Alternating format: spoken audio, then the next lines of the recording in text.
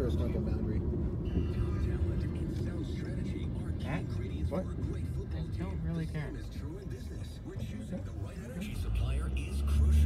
Okay, because isn't a front a boundary? So you're saying front twice there? Or saying boundary twice, excuse me? Take the next right onto Kendrick Road. Um, Yes. Yes, you are. I don't. No, that's how it is. Eric told me like that. Alright, you're, you're eject. Eject.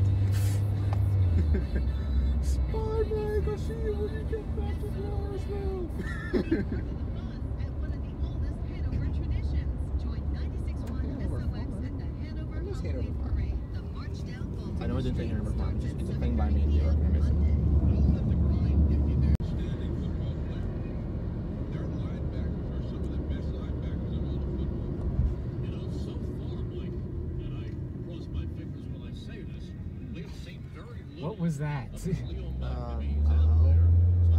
Made an impact in this Why?